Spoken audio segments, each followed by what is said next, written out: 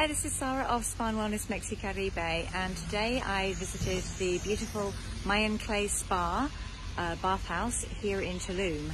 And this is uh, the Mayan clay is an incredible uh, substance that is massaged all over the body, and it helps to detoxify the skin and remineralize the skin.